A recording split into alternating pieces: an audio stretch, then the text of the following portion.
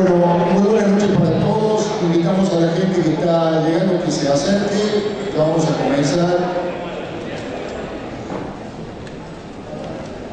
Muchas gracias por haber venido. Muchísimas gracias a la Asociación de Productores Rurales de Marco Juárez por haberme convocado. Para mí es un orgullo como cordobés poder eh, coordinar, coordinar y aportar mínimamente un granito de arena y participar este acontecimiento democrático, pluralista, que seguramente nos, nos hace mejores cordobeses y nos hace mejores argentinos. La posibilidad de escucharnos, de hacer propuestas y que cada uno de los ciudadanos tome sus propias decisiones a la hora de votar. Esta jornada se llama, ha sido bautizada como Jornada de Orientación Cívico-Democrática Dialoguemos. Es muy importante, no solo para Marco Juárez, sino también para toda, para toda la región. Ustedes ya los conocen, pero cumplo en presentar a quienes voy a llamar candidatos, porque son, es el elemento que los iguala a todos.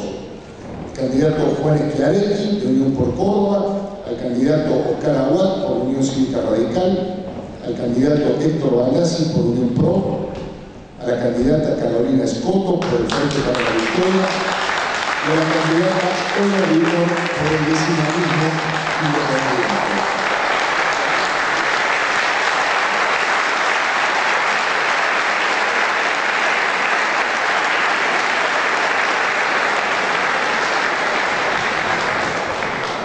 Bueno, bienvenido ese aplauso, por supuesto, para eh, saludar a los que van a expresar sus opiniones, sus definiciones y sus propuestas en cada uno de los temas. Para que tenga la máxima transparencia posible, yo les voy a ir comentando cada una de las situaciones, por qué, de qué manera se van a llevar adelante, para que todos ustedes sepan cuáles han sido los acuerdos. Les comento que hay dos instituciones solidarias, dos ONG de bien público de aquí, de la ciudad de Marco Juárez, como la guardería Hijitus y el Hogar de Niños del Corazón.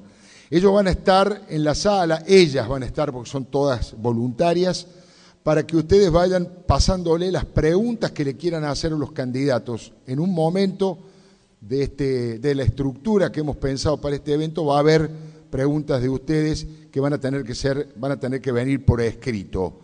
Eh, además, todos ustedes, espero que así lo hayan hecho, eh, deben haber colaborado con un bono contribución para estas dos instituciones que tanto, que tanto bien hacen para la gente que más dificultades y más necesita aquí en Marco Juárez y también en la zona y también en la región.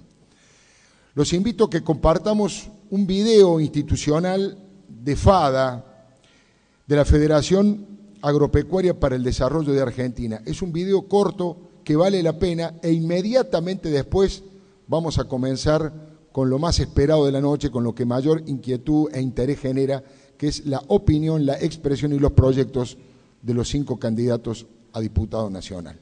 Vamos con el video.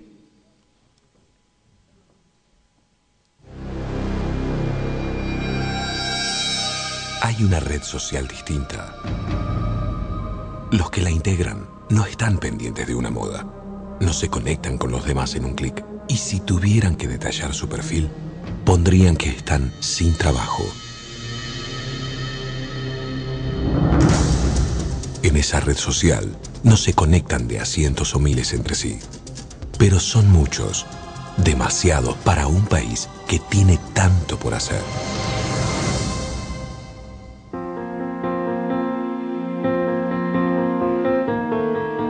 En 2009, por iniciativa de empresarios del sector, nace la Fundación Agropecuaria para el Desarrollo de Argentina, con el fin de mejorar la calidad de vida y aumentar el nivel de empleo genuino de los argentinos. En su visión, es posible un país con más producción, más trabajo y menos pobreza. Según el Programa de Medidas para Desarrollo de Argentina, en 2020, el sector agropecuario y agroindustrial podría producir 166 millones de toneladas de granos y crear, para ese año, más de 1.800.000 nuevos puestos de trabajo. La mayoría de ellos en el interior del país y en gran medida para la juventud. Estos números demuestran la inconmensurable potencia desarrolladora que tiene nuestro campo. Argentina puede ser un país con pleno empleo y sin ciudadanos en la pobreza. Para lograrlo, debemos involucrarnos y proponer soluciones concretas y viables. En ese sentido, FADA elabora, promueve y contribuye a implementar propuestas de política pública y las acerca a decisores estatales del Poder Ejecutivo y Legislativo a nivel nacional, provincial y municipal.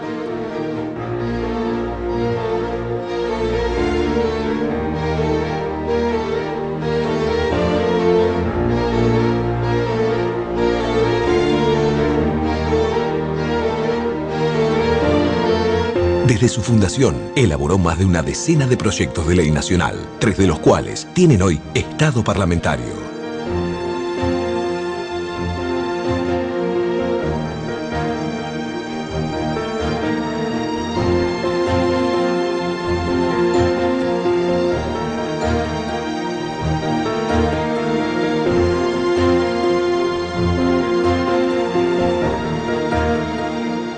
Más políticas públicas que promocionen la producción y la industrialización de las materias primas puede generar más puestos de trabajo genuino y de esta manera lograr una mejor calidad de vida para todos los argentinos.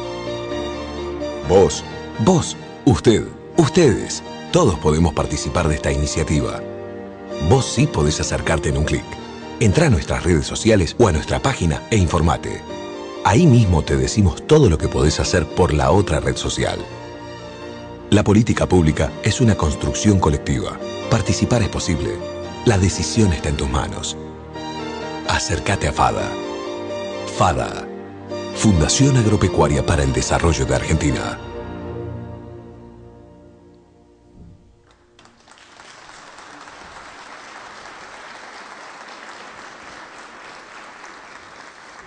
Al finalizar este acto cívico y democrático, eh, la Fundación Agropecuaria para el Desarrollo Argentino va a hacer entrega a todos los candidatos de una carpeta con todos estos proyectos, algunos de los que eh, ya vimos. Fue formada con el aporte de un grupo de productores rurales el año 2009, tiene su sede en Río Cuarto. FADA se dedica a investigar y diseñar políticas públicas con la finalidad de desarrollar las cadenas de valor que se generan desde el campo con el propósito de generar empleo y combatir la pobreza, con la convicción que en un marco de seguridad jurídica, previsibilidad económica, equidad impositiva, respeto al sistema de gobierno democrático, republicano y federal, Argentina tiene una capacidad para alimentar a más de 400 millones de personas en un mundo que globalizado demanda alimento y energía, que es lo que los argentinos sabemos hacer si la política y la economía se ponen al servicio del desarrollo sustentable del país. Decirles que eh, me han encargado los organizadores, la gente de la Asociación de Productores Rurales, que reconozca y agradezca el rol que han jugado los auspiciantes para hacer posible esto aquí en la sociedad italiana. A Marsh, a Metalfor, a ACA Salud, a Acopiados Creciente, a Poncetti Hermanos, Ramonda Motors, Tecnocar y a Más República. Sin más, vamos a comenzar con esta exposición de ideas y de proyectos temática de los cinco candidatos. Vamos a invitar a que venga al escenario a la escribana Natalia de la Rosa. Natalia de la Rosa tiene un sobre. ¿Cómo le va, escribana? Tiene un sobre donde les va a mostrar lo que contiene, que son cinco números, el 1, el 2, el 3, el 4 y el 5, simplemente, que reflejan el orden en el que están sentados. ¿Quién va a sacar el numerito, escribana? ¿Un nene, alguien ahí por ahí o no? Sí, allá están. Yo, yo, dice. Yo, yo. Me parece que es cordobés. ahí viene.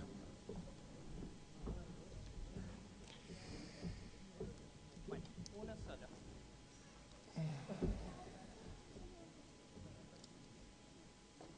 Cinco. Muchísimas gracias, escribana. ¿eh? El número 5 corresponde a la candidata Olga Riutor por el vecinalismo independiente. El mecanismo es muy sencillo y funciona en todos los debates o las exposiciones de estas características. Como son cinco los temas que van a exponer, con esto, esto está designando que arranca primero, en primer orden, la candidata Olga Riutor con el primer tema que es reforma tributaria. Luego sigue la ronda de la misma manera en el segundo tema va a arrancar Schiaretti, en el tercer tema Oscar Aguat, en el cuarto Héctor Baldassi y en el quinto Carolina Escoto.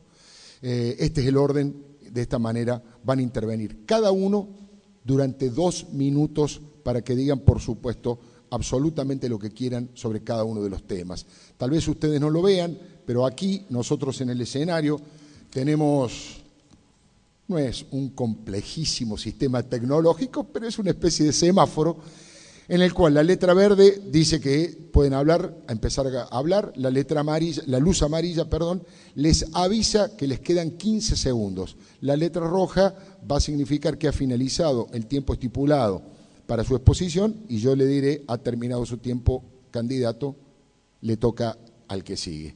¿Les parece bien? ¿Están preparados?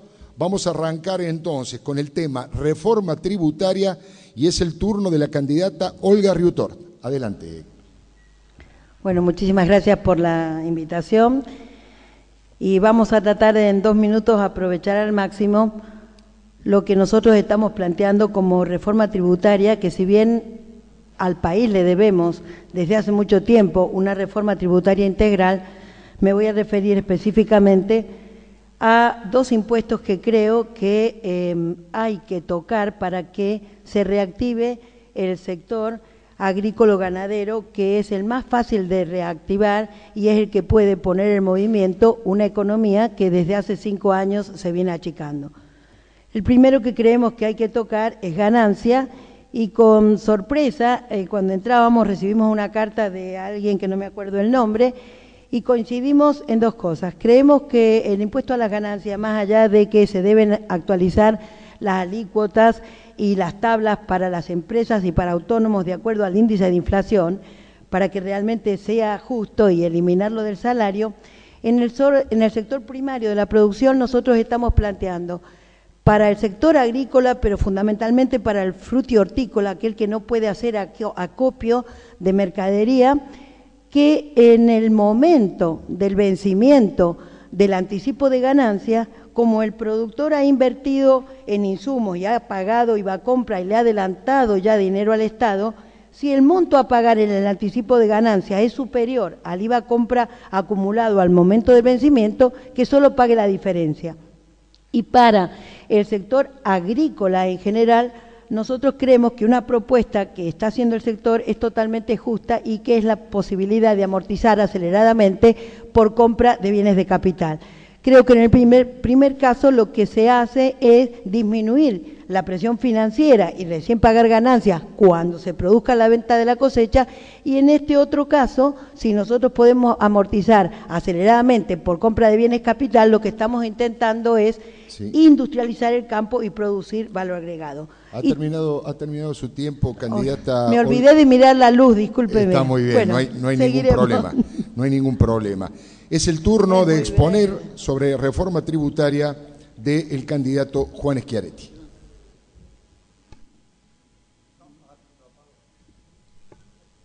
Bueno, muchísimas gracias por la invitación. Indudablemente es necesaria una reforma tributaria porque la presión fiscal en Argentina subió de 23 puntos del producto en estos 10 años a 37 puntos del producto, con el agravante de que países vecinos tienen 30% del producto como presión fiscal, que es el caso de Brasil, y también el agravante de que hay una concentración de recursos en manos del Estado Nacional en detrimento de las provincias y municipios, que ya era bajo lo que iba a provincia y municipio años anteriores, el 2003 era del 32% y ahora está en el orden del 25%. Y un sistema tributario basado en impuestos distorsivos algunos, errados otros. Distorsivo, impuesto a las ganancias, se ha transformado en un impuesto a la producción y al salario, pues estamos utilizando la famosa tabla de machinea del año 2000, que si se la multiplicara por 8, que es el aumento de la inflación, ¿quién gana? Salario bruto, bruto, hasta 23.300 pesos por mes, no tendría que tener retención y no pagaría el 35% la mayoría de la clase media a la cual no le actualizaron la tablita y quien pagaba 14% ahora paga el 35%. El impuesto a los débitos y crédito bancario es un impuesto a la bancarización y atenta contra el blanqueo de la economía, tendría que estar a cuenta de ganancias. Y qué hablar de la retención a la exportación agropecuaria que son un impuesto que se le aplica al campo, pero el gobierno nacional dice que le aplica al campo porque la soja se multiplicó por tres, pero no se anima a aplicarle a las multinacionales mineras donde el cobre y el oro se multiplicaron por siete y por ocho porque sabe que las multinacionales mineras le paran la producción, en cambio los chacareros siguen produciendo cada vez más. Impuestos que hay que bajar, ponerlo a cuenta de ganancia y eliminar en el futuro modificar ganancia para grabar la renta financiera y tener actualizado los, eh, los por índice de inflación los mínimos. Ha terminado su turno, candidato de Schiaretti. Es el turno del candidato Oscar Aguat para exponer sobre la reforma tributaria. Bueno, muchas gracias.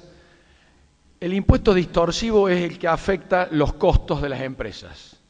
El cheque es un impuesto distorsivo, los ingresos brutos que cobra la provincia son un impuesto distorsivo, las retenciones agropecuarias son un impuesto distorsivo. Hay que eliminar los impuestos distorsivos. Y además los impuestos regresivos, donde pagan más proporcionalmente los que menos tienen que los que más tienen.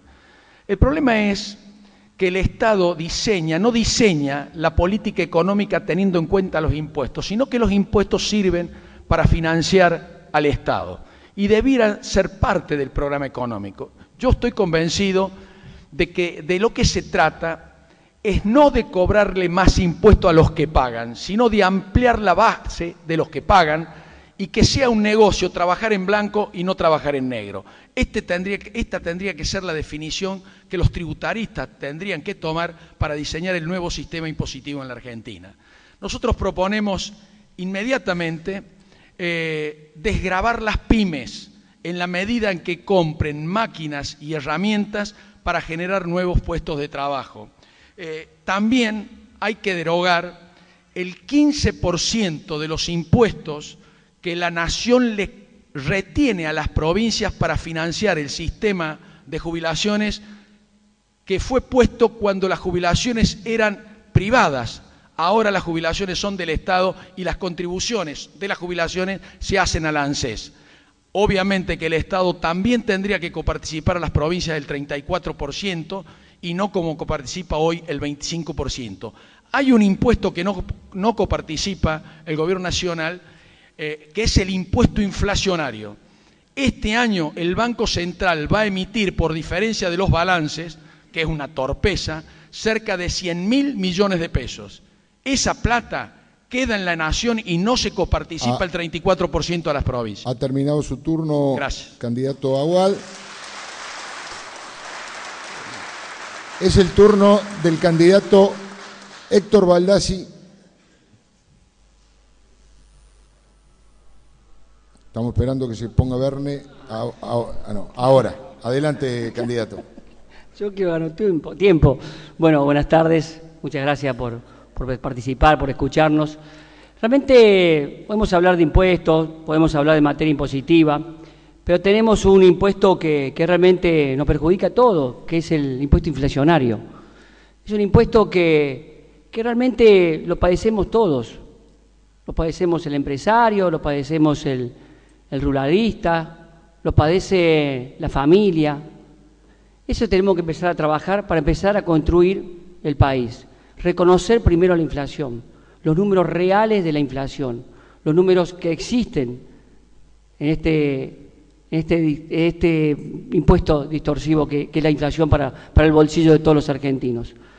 Ahora, nosotros también teníamos que trabajar en que el gobierno se ha juntado con mucho dinero y ese dinero no lo reparte en estos impuestos de la retención, impuesto al cheque, el impuesto que realmente debería repartir justamente de la nación a la provincia y a su vez la provincia también repartirla con todo lo que es y significa las intendencias y las comunas, para poder lograr así tener mejores maestros pagos, mejores hospitales, mejores salitas de, de primeros auxilios.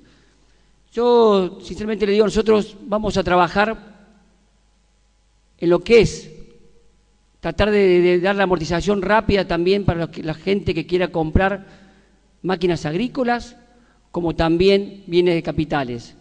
Vamos a trabajar también acompañando a los pequeños y medianos empresarios que quieren hacer de la industria, acompañándolo también en esta amortización rápida. Vamos a trabajar porque todos nos comprometamos, como decía el doctor Aguad, del 15% este que tenemos y que hoy tiene el ANSES de, que nosotros lo, tenemos que participar en bueno, participar. Eh, ha, terminado su turno, eh, candidato Héctor Valda, sí. Es el turno de la candidata Carolina Escoto. Bueno, buenas noches, muchas gracias. Eh, voy a comenzar de lleno con un tema extraordinariamente complejo. Lo que uno llama el sistema impositivo tributario es eh, algo difícil de caracterizar como un sistema. Es intrínsecamente complejo y además es el fruto de mm, impuestos que han sido creados en coyunturas y con concepciones eh, muchas veces distintas y que han sobrevivido y sufrido reajustes a lo largo del tiempo al vaivén de distintos, distintas políticas económicas, fiscales y tributarias, y hoy constituyen algo así como un galimatías este, muy complejo el que resulta muy fácil evaluarlo críticamente y muy difícil modificarlo en su integralidad. Es difícil que podamos garantizar como diputados o un cuerpo legislativo en un breve periodo de tiempo reformar integralmente el sistema dispositivo argentino, pero la orientación de cualesquiera de esos cambios debería ser como aquí también se ha dicho, en favor de un sistema impositivo menos regresivo y más equitativo, es decir, que no afecte a la creación de riqueza y que al mismo tiempo no grave más onerosamente a quienes menos tienen y deje libres de impuestos a quienes más tienen. Con esos básicos parámetros este, y con una estructura federal que tenga en cuenta qué es competencia impositiva de las provincias y cuál es competencia impositiva de la nación, con más un análisis de la estructura de la coparticipación de los impuestos que percibe la nación y que luego debe distribuir secundariamente en cada una de las provincias del territorio nacional, tenemos que la reforma en cuestión es una reforma muy compleja. Para ponerlo en varios puntos, coincido ampliamente que algunos de los impuestos eh, que han sobrevivido, creados en otras épocas y para otros modelos económicos, generan efectos negativos, pero resultan de una percepción este, eh, significativa para el volumen de ingresos del Estado. No, me cuento entre quienes creen que el Estado debe ser, débil y carente de recursos para direccionar, promover la producción, reorientar las políticas, definir una matriz productiva, etcétera, etcétera. Eh, respecto de la coparticipación, un tema tan sensible para las provincias, creo que Córdoba necesita un, porcentaje de coparticipación eh, prontamente revisable porque es inferior a la provincia de Santa Fe, comparable con la nuestra. Bueno, ha terminado su tiempo, candidata Carolina Escoto.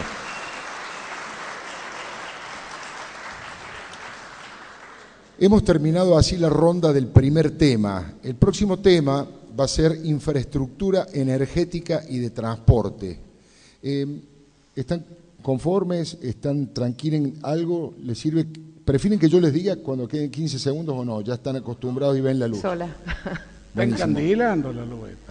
muchas gracias, muchas gracias por respetar, eh, por respetar los tiempos. Eh, entonces, vamos a arrancar con el segundo tema de exposición de la noche de esta jornada de orientación cívico-democrática llamada Dialoguemos, infraestructura energética y de transporte. Arranca esta ronda el candidato Juan Schiaretti. Bueno, indudablemente... Un segundito, ahora. El tema energético es un problema mundial, porque el ser humano con las actuales energías que utiliza consume por año una vez y media lo que es capaz de regenerar en esas energías tradicionales. De allí que sea imperioso trabajar sobre las energías alternativas para todos los países del planeta. En el caso de nuestro país tenemos un problema adicional que es que la desastrosa política energética del gobierno nacional ha hecho de que ser un país excedentario en energía seamos un país importador de energía que nos está consumiendo casi todo el saldo de balanza comercial que se produce fundamentalmente por las exportaciones agropecuarias. Se calcula que este año vamos a estar importando cerca de 13 mil millones de dólares en energía. Y además con un sistema de subsidio que benefician a los sectores más pudientes y por lo tanto no permiten de que haya los precios adecuados, pagando los sectores más pudientes lo que pueden pagar y cuidando de los que menos tienen los precios adecuados para que haya inversión. Y se dan el absurdo de que, por ejemplo, la cuenca de gas del norte argentino, los mismos empresarios la cierran en Argentina porque le pagan 2 dólares 30 el millón de BTU y traen de Bolivia que le cierran los pozos y lo traen de Bolivia que le pagan 10 dólares el millón de BTU. Se dan absurdos de estas características, que me parece que es urgente revisar haciendo que los proyectos que hay de energía alternativa, como los que presentamos en Córdoba, se puedan ejecutar. Córdoba no puede hacer la energía eólica porque el Ministerio de Planificación autorizó un proyecto. Transporte. Hay que volver a los ferrocarriles. Somos un país plano y estamos desaprovechando los ferrocarriles porque se privatizó mal, dándole a los usuarios y no a los especialistas en transporte. Me parece que esto es clave para un país como Argentina. Ha terminado su tiempo. Es su turno, candidato Oscar Aguad. Bueno, eh, sin, sin energía no hay desarrollo. Y sin transporte y sin logística no hay competitividad posible. Este año la Argentina tendrá la menor producción de gas y petróleo de la década. En los 10 años se han perdido 170 mil millones de reservas de gas y de petróleo. Desde la confiscación de IPF ha retrocedido a un promedio del 6% anual la producción de gas y del 4% la producción de petróleo. Para que tengan una idea, dos ejemplos. Este año vamos a importar energía por cerca de 12 mil o 13 mil millones de dólares. Las retenciones a la soja recaudan 8 mil millones de dólares para importar gas y petróleo solamente cerca de 13 mil millones de dólares. Tengan en cuenta la magnitud del problema que tenemos por delante. Y los subsidios a la energía para tener la nafta a 10 pesos, que es carísima, van a estar en el orden de los 12 mil millones de dólares este año. El año pasado el presupuesto nacional autorizó la importación de 200 mil centímetros cúbicos de nafta en el presupuesto que aprobamos hace una semana en el Congreso, se aprobó la importación de un millón de metros cúbicos de nafta. Nos estamos quedando sin energía. Yo propongo una ley de hidrocarburos para rápidamente atraer inversiones e incentivar la exploración de gas y de petróleo, convirtiendo nuestros recursos en reservas primero y después en una potencialidad.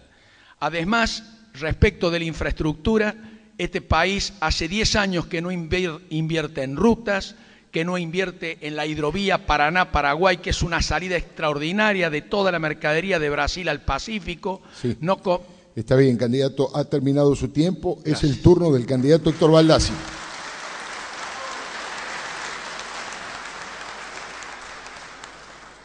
Bueno, todos sabemos que necesitamos la energía para vivir, para tener eh, nuestra empresa. La energía nos da la posibilidad de poder dar trabajo, dar bienestar y estar saludable. Hace 14 años que en la provincia de Córdoba, cuando llega el verano, nos cortan la luz y nos cortan el agua. Cuando llega el invierno, nos cortan la luz, a veces el agua y el gas. Y se lo puedo decir porque yo vivo en San Puede, que no hay agua. Eh, sobre todo, yo creo que fundamentalmente tenemos que trabajar en esto, en darle la posibilidad de hacer obras, de que tengamos que volver a, a darle confiabilidad a la gente. Caminando el otro día por un lugar en la provincia, en la ciudad de Córdoba, conté con un almacenero en un barrio Libertador, de Villa Libertador, que me decía él que cuando en el verano le llegaba la, la temperatura, superaba los 30 grados, él se veía con mucho miedo, el miedo a perder toda su mercadería, el miedo a perder todo su futuro, el miedo a perder su sostén. Porque realmente, como le corta la luz, él perdía todo su, todo su, su mercadería. Entonces vivía con ese miedo. Por eso todos tenemos que trabajar comprometiéndonos a buscarle la solución a la energía, a darle la factibilidad para poder construir. Ustedes saben que en la provincia de Córdoba pagamos cinco veces más la luz que en el área metropolitana en Buenos Aires. Y eso no puede ser. Yo no estoy en contra de, que los subsidios a la gente hay que ayudarla con los subsidios, a los que menos tienen, pero los que pueden pagarla, que paguen la luz como corresponde. Realmente tenemos que empezar a, entre todos, a ver esta, esta imparcialidad que hay con respecto al área metropolitana. Eh, diputado, eh, perdón, candidato Baldassi ha terminado su tiempo y es el turno de la candidata Carolina Escoto. Bueno, vamos todos a coincidir en el diagnóstico de que estamos enfrentando un problema de déficit en la provisión de energía, que la matriz energética de nuestro país necesita rápidamente ser reorientada eh, los recursos no renovables de los que depende buena parte de la producción energética en nuestro país, de, origen en los hidrocarburos, petróleo y gas o hidráulica, que mm, representan el 60 y el 35% respectivamente del total del producido energético en el país, este, ha dejado postergada la exploración, el crecimiento, la participación de la provisión de energías eh, mm, renovables en esa matriz productiva, la energía eólica, la energía solar, este, en Córdoba en particular y en buena parte del territorio nacional podría este, suplir el déficit en la producción de hidrocarburos y podría, este, además generando un efecto de energía limpia, es decir, de protección ambiental. Ese es un tema de fondo. Eh, comparto el esfuerzo que el país ha emprendido con la reestatización de yacimientos petrolíferos fiscales, con un plan de exploración, de inversión compartida por el Estado y el sector privado, incluyendo la explotación de no convencionales, este, los que sin duda generan un interesante y delicado debate también ambiental. Eh, respecto de la infraestructura vial, tampoco creo, dudamos de la enorme significación que tiene no solo para la seguridad de las personas, para la conectividad del país, sino también para el propio sistema productivo, para la rentabilidad de la circulación de mercancías en el territorio de la provincia.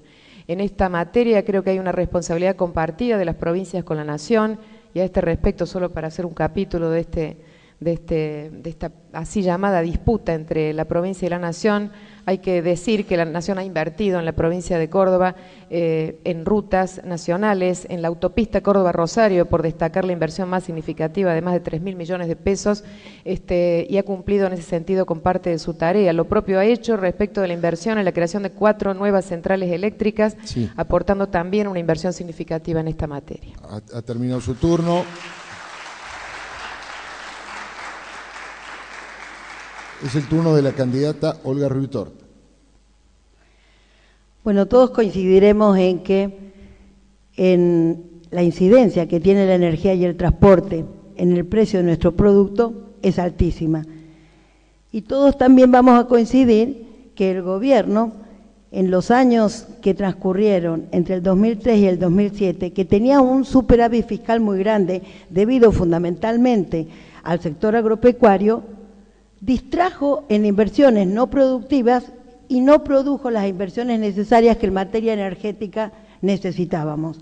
Se hicieron leyes, se planteó que teníamos que llegar en 10 años a tener la producción de energía no tradicional a partir de los biocombustibles o de la energía eólica o de la energía hidráulica, casi el 8% de lo que consumiera la industria. Pues nada de eso se hizo. Creo que el gobierno perdió una gran oportunidad de invertir en bienes productivos que hicieran bajar el costo de nuestros productos. Y cuando me refiero a esto, me refiero, por ejemplo, a inversiones que a pesar de que yo estoy de acuerdo que hayamos recuperado las líneas argentinas, no podemos estar pagando todos los argentinos 4 millones 500 mil pesos por día en los viajes al exterior. Creemos que realmente o nosotros orientamos el gasto público a incentivar producción de energía y a mejorar el costo del transporte, que hay que recuperar el transporte ferroviario que desde los años 70 lo venimos destruyendo sistemáticamente, más allá del color político de quien ha gobernado este país, creo que son los desafíos más grandes que necesitamos, que el gobierno nacional controle el gasto público, que incentive inversiones, que desgraciadamente con la inseguridad jurídica que tenemos cuesta muchísimo conseguir inversiones externas. Una prueba de ello es la poca inversión que conseguimos para el Shell Gas del Sur, que sería la única posibilidad de reactivar rápidamente y no seguir gastando en la importación de energía que tan necesaria es para la industria. Ha terminado su tiempo, candidata.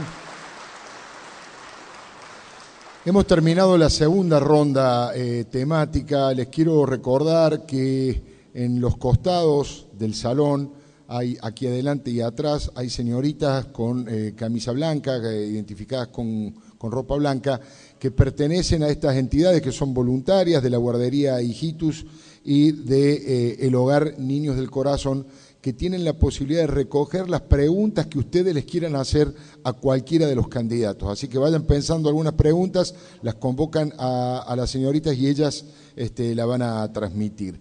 Eh, el próximo tema, todos estos temas son importantes, la verdad que eh, la agenda temática que han encontrado es realmente trascendente, pero seguramente vamos a convenir que este es estratégico eh, y en eso debemos coincidir todos. Vamos a escuchar las propuestas sobre el tema educativo, ¿eh? sobre el tema educativo y eh, arranca, le toca comenzar al candidato Oscar Aguad. No, no, perdón, perdón, he cometido un error. Al candidato Héctor Baldassi, mil disculpas. ¿Sí? ¿Tres? Creo que sí. Bueno, doble, doble, doble falta como en el tenis. Eh, doctor Oscar Aguad, adelante. Gracias. Bueno, eh, si nosotros queremos derrotar al populismo y desarrollar el país, la escuela debe educar para el desarrollo.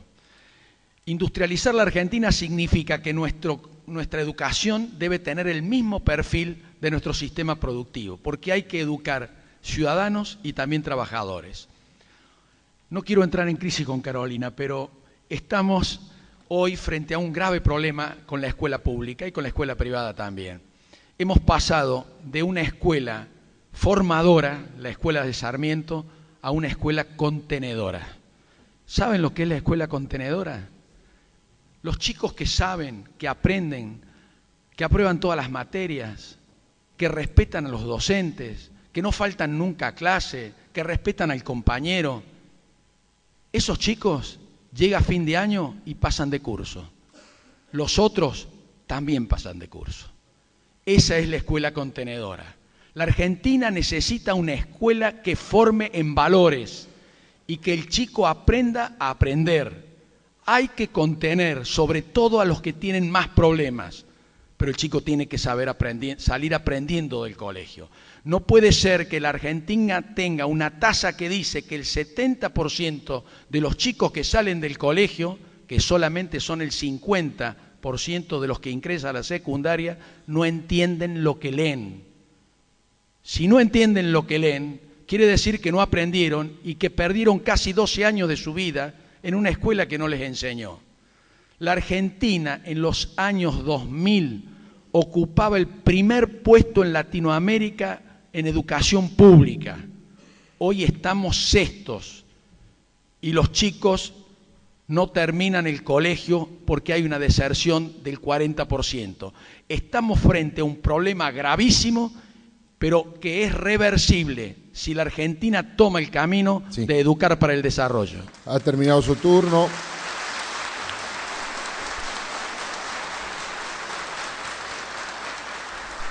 Es el turno del candidato Héctor Baldassi. Bueno, eh, yo quiero contarle que tengo tres hijos, uno en edad primaria, uno en edad secundaria y otro en, la universidad. Y creo que también ustedes deben tener hijos en diferentes lugares de la escuela. Necesitamos volver a la escuela gratuita y confiable. Sobre todo necesitamos que los maestros estén bien capacitados, porque son ellos los que nos van a dar la educación a nuestros hijos para el futuro. Por eso necesitamos que los capaciten y además estar bien pago. Ustedes saben que el 50% de los chicos que terminan la secundaria tienen 18 años. Ustedes saben que de 3 de, de, de cada cuatro chicos no comprenden texto. Y además tenemos un gran problema en el Gran Córdoba, que pibe de 16 a 24 años, casi un 20% de promedio, no estudian ni trabajan. Eso es un imán para el gran flagelo que tenemos hoy, que es la droga y la delincuencia. Parece que tenemos que empezar a trabajar también en la currícula, cambiar la currícula del secundario, enseñarle también la posibilidad de tener un oficio, enseñarle nuevas tecnologías y también inglés de primer grado, para que los chicos cuando terminan la secundaria puedan seguir eligiendo la universidad o en caso contrario poder trabajar para subsistir. También hay muchos pibes, muchos chicos que trabajan ayudando a su familia, que ayudan a, toda su familia para poder llevar un dinero a su casa hay que darle la posibilidad de la flexibilidad también para que puedan estudiar, para que no se produzca el ausentismo que tienen en esa, en esa edad. Me parece que en eso tenemos que también comprometernos a trabajar. Ha terminado su tiempo Héctor Baldassi. Y es el turno, es el turno de la candidata Carolina Escoto. Bueno, eh, aunque podría decir muchas cosas a favor de, con muchos argumentos y datos a favor del crecimiento y recuperación extraordinarios del sistema de educación superior en la Argentina en estos años y en particular del sistema científico-tecnológico que básicamente está dentro del sistema universitario, prefiero hablar de las escuelas, de los niveles inicial y medio, de la escuela técnica y de la escuela media y de sus problemas y de sus este, mm, progresos. Creo que hay que reconocer, si miramos la cuestión en términos históricos para ver en qué curva de crecimiento o caída estamos, que nuestro país ha progresado en dos o tres puntos en materia educativa y en este punto no es que discrepe con Oscar, es que simplemente él no lo dice. Eh, nuestro país ha ganado mayores tasas de escolarización. Tener más chicos en la escuela es en sí mismo un valor positivo. Nuestro país ha conquistado una ley de financiamiento educativo que ha hecho que efectivamente eh, la inversión en educación en el sistema educativo nacional en su conjunto haya superado ya la meta fijada en 2010 del 6% y esté ya superando el 6.5%.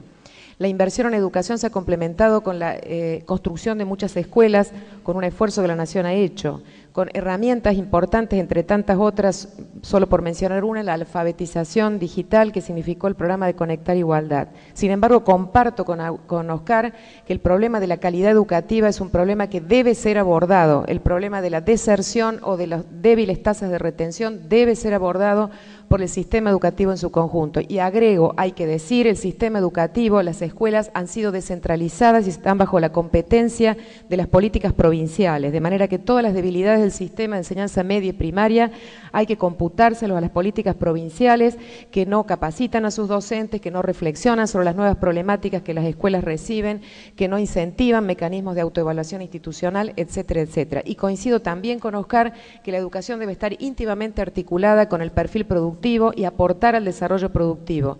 Para eso nuestra provincia tiene más universidades que ninguna provincia argentina y las dificultades que tenemos para trabajar con las escuelas ah. técnicas y para trabajar con las escuelas secundarias es una tragedia que no nos podemos permitir.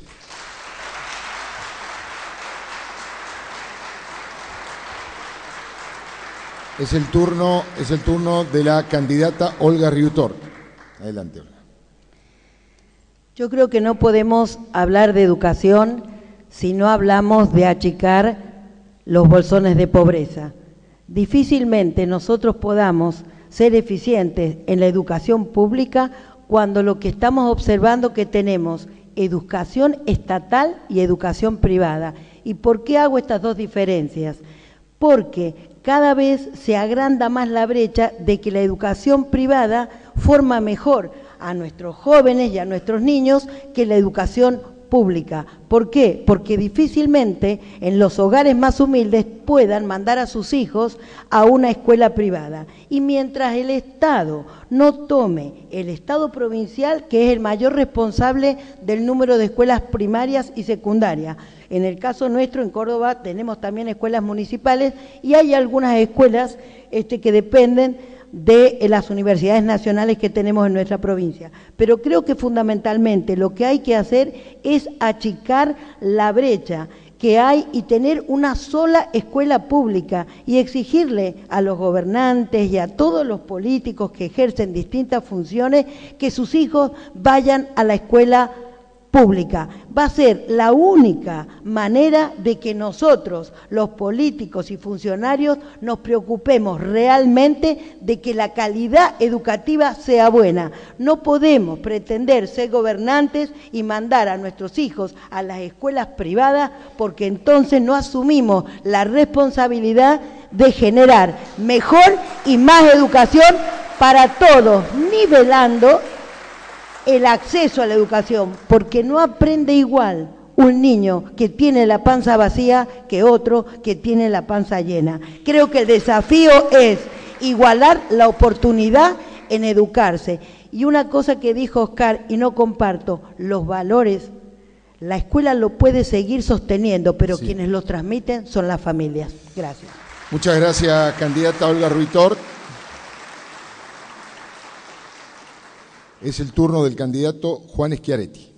Sin duda la educación es la que hace libre a los pueblos y sin duda es la que va a determinar en el siglo XXI el progreso de los pueblos más que el tener materias primas. Por eso siempre decimos que es el nuevo nombre de la justicia social en el siglo XXI, es la educación.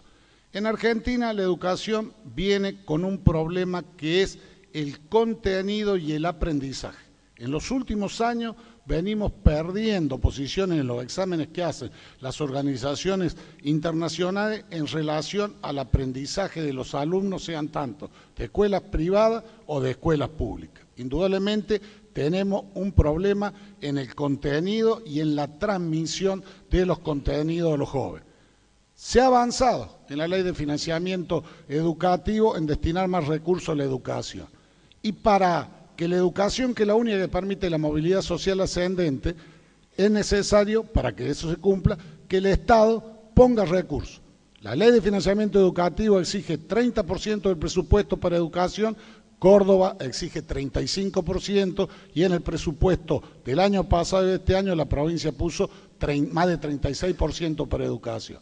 La ley de financiamiento educativo exige la jornada extendida y Córdoba, al 30% de los establecimientos, Córdoba ya cumplió largamente con eso porque tenemos 810 escuelas primarias con jornada extendida para ayudar a los más humildes, mientras la hermana provincia de Santa Fe solo tiene 8.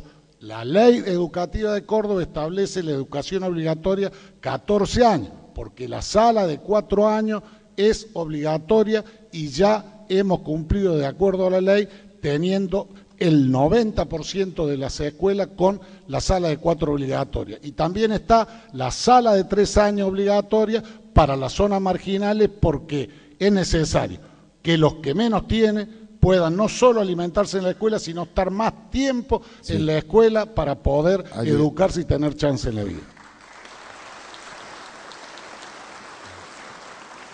Hemos completado la tercera ronda, eh, la tercera propuesta temática. Vamos a arrancar ahora con las propuestas para el sector agropecuario. Así que eh, va a generar un interés particular, obviamente, por las características de quienes han convocado a este, a este acto cívico. Le toca comenzar la ronda al candidato Héctor Baldassi. Adelante. Bueno, quiero decirle que uno considera el campo como el motor de la Argentina, como el tractor del país.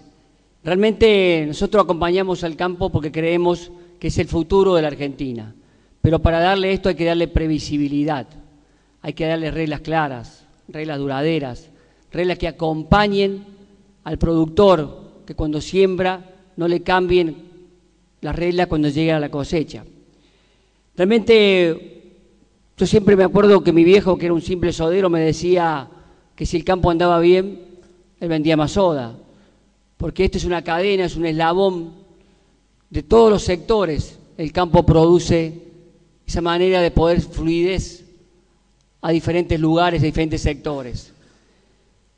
Me parece que en la Argentina se podría producir 120 millones de toneladas de, de granos con la tecnología y con el suelo que hay.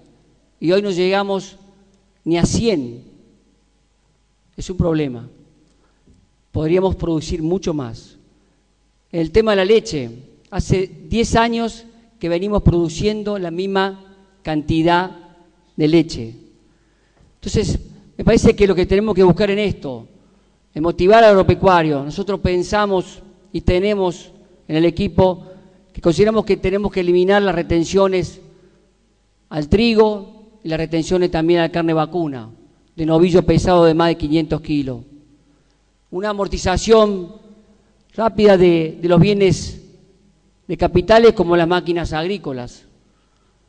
Bien, una doble deducción de ganancias en los, fertilizantes para poder recuperar la tierra, para poder recuperar el suelo, que es tan prestigioso y tanto bien nos hace.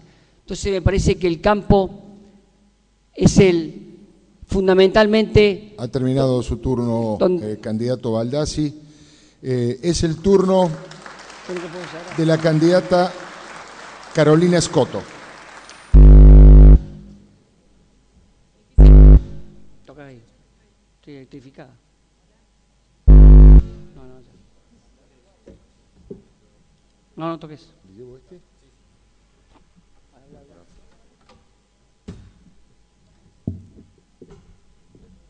No, toma este. Hola.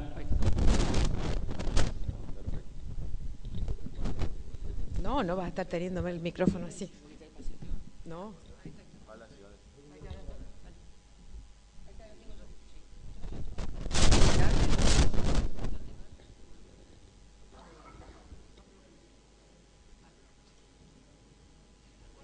Sí, no hay problema, si él no tiene problema, gracias. Difícil negar la importancia de la producción primaria y la producción agropecuaria en el perfil productivo de nuestro país. Difícil negar el valor que tiene en, el, aporte a la, creación de riqueza, en el volumen de participación en las exportaciones de nuestro país. Eh, particularmente todo esto vale para Córdoba, cuya producción representa el 12% de las exportaciones del país. Sin embargo, así como hablábamos recién de la necesidad de redefinir una matriz energética, eh, ha sido importante el debate que se consolidó en el Plan Estratégico Agroalimentario. Este, más importante sería aún que los distintos actores involucrados en, la planificación de las líneas de trabajo y las responsabilidades respectivas de cada actor se pudieran poner efectivamente en marcha porque creo que todos estaríamos de acuerdo, después de la evolución en los últimos años de la producción primaria, en que la agriculturización y en particular la sojización eh, que ha dado su perfil propio a la producción primaria en nuestra provincia y en nuestro país está generando dificultades, no solo en la estructura productiva diversificada que es necesario proteger, este, sino también algunas eh, consecuencias ambientales realmente muy negativas.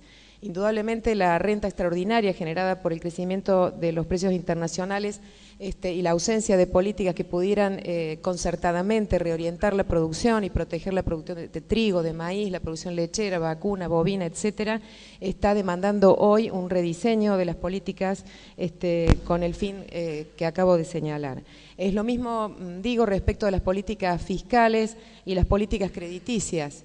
Eh, pero lo más interesante me parece a mí es el esfuerzo que debe nuestro país todavía hacer y que se ha hecho muy poco por agregar valor a la producción primaria, por concertar esfuerzos para que incluso el agregado de valor en esa cadena de valor sea en origen, para que en definitiva se aprecie la sinergia importante que la producción primaria con la producción industrial tienen recíprocamente. No es una disputa interesante la de si vamos a hacer industria, vamos a industrializar o vamos a mantenernos en, la producción primaria. Ha terminado su tiempo y es...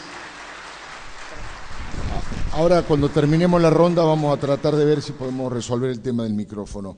Eh, es el turno de la candidata Olga Riutort. Creo que el principal problema que tiene el sector agropecuario es la inflación que aumenta sus costos de insumos, el estancamiento que hay en los precios internacionales, el tipo de cambio que el gobierno nacional sostiene ficticiamente bajo y lo peor de todo es la negación del gobierno nacional a reconocer que el sector que más rápidamente se puede reactivar y que va a beneficiar al gobierno porque va a recaudar más y al sistema productivo generando más riqueza, más trabajo y más salario, creo que la única herramienta que hoy tendría el gobierno nacional es primero acabar con este divorcio con el campo, asociarse en los éxitos y bajar las retenciones. Transitoriamente, ¿para qué? Para que podamos permitir la recuperación del valor relativo del maíz, de la carne y del trigo y dejemos las hojas con retenciones altas porque no influyan en los precios ni en la producción del mercado interno. Ahora, es cierto que el gobierno le va a costar tomar esta medida porque va a recaudar menos hasta que se recupere el valor relativo de estos commodities, pero es el único camino, porque la devaluación que están planteando algunos sectores en un proceso inflacionario como el que estamos viviendo con contratos indexados como existen, va a mandar los precios otra vez por las nubes y creo que va a ser peor el remedio que la enfermedad. Por lo tanto, me parece que el gobierno no puede seguir ignorando la inflación alta que tenemos, tiene que dejar de emitir sin respaldo, tiene que ser más responsable de saber que su prioridad es reconocer cuál es el sector de la economía que yo puedo recuperar más rápidamente si no queremos seguir con esta implosión económica que viene día a día desde el 2007 hasta la fecha. Me parece que hay que dejar las soberbias de lado y ponerse a dialogar con el campo y tener retenciones diferenciadas por cosecha y para la carne un plan a largo plazo. Es el turno del candidato Juan Schiaretti. El problema de la producción agropecuaria es que es la gallina de los huevos de oro y parece que el gobierno nacional, en vez de cuidarla, la quiere matar a la gallina de los huevos de oro, porque lo ningunea, los discrimina y los agrede. Tanto es así que después de las primarias y llamaron al diálogo a diversos sectores, pero el campo no figura. Y tiene que soportar el campo porque el chacarero siempre ha puesto a plantar, mientras no se le animan a las multinacionales con las retenciones, el esquema de retención. Y para que quede claro, con las retenciones que Córdoba le manda a la Nación de un año del departamento Marco Juárez y Unión, pagamos la autopista Córdoba-Rosa. O sea que el departamento Marco Juárez y Unión ya pagaron varias veces la autopista Córdoba-Rosa. Esta es la realidad de lo que nos pasa hay que bajar la retención, hay que poner la cuenta de ganancia y después eliminarla, porque ni siquiera la usan como intento de desenganche de precios internacionales de lo nacional, porque ya son un mecanismo obsoleto, sino para recaudar más simplemente. Hay que establecer mecanismos de desenganche de precios internos, internacionales, como usan Australia y como usa Canadá, en vez de castigar al campo con la retención. Si empezamos por eso, seguramente podremos conseguir entre todos ver cómo utilizamos el suelo, cómo hacemos la rotación de los diversos productos para evitar de que parezca una extracción minera en vez de una producción agropecuaria, lo que nos pasa a los argentinos. Y el campo fue y será la base del progreso de la provincia de Córdoba. Por eso siempre nos vamos a jugar por el campo y porque el campo es el motor de la Argentina y hay buenos precios internacionales allá afuera que si nos organizamos bien y no se agrede el campo, no se lo ningunea, seguramente va a permitir que el país progrese durante mucho tiempo. Muchísimas gracias. Es el turno del candidato Oscar Aguad. Gracias. Bueno, todo se hizo mal. Todo se hizo mal. Cuando, y además, el gobierno ha sido muy desagradecido con el sector agropecuario. En estos 10 años, el sector agropecuario aportó 260 mil millones de dólares de divisas. y en retenciones 70 mil millones de dólares. Cuando vienen los precios internacionales extraordinarios, el sentido común, la razón, dice que un país productor de granos, de leche y de carne, lo que tiene que hacer es aumentar su oferta exportable, producir más. El gobierno hizo todo al revés. Le metió la mano en el bolsillo al sector agropecuario y le intervino los mercados. La consecuencia, perdimos 10 millones de cabezas de ganados. Este año vamos a perder cerca de un millón más. Cerraron 4.000 tambos a pesar de que seguimos produciendo la misma cantidad de leche, a los mismos precios de hace dos años. Además de todas estas complicaciones, la Argentina no aprovechó el viento a favor para impulsar el desarrollo del país. Nosotros lo que proponemos es disminuir drásticamente las retenciones y suprimirlas en muchos casos, y además que sea cuenta de ganancias. Cero de retenciones a las economías regionales. No más economía ni a la carne ni a la leche. Y a la soja un techo del 30% para ir gradualmente bajándola. Pero, pero esto no es un acto demagógico. Tiene que ser a cambio de algo. Esto significa acordar políticas de desarrollo. Hay que sentarse con el sector agropecuario. Ha terminado. 130 millones de toneladas hacen falta producir en la Argentina.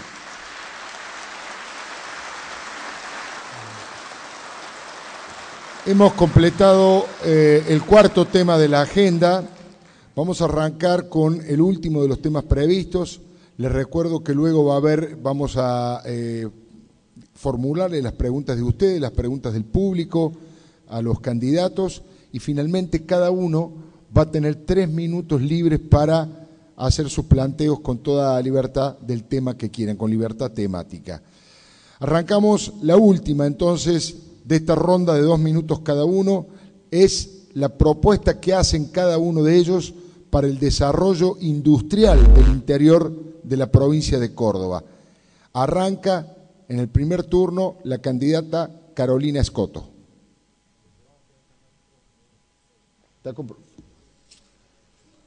Oh, espera.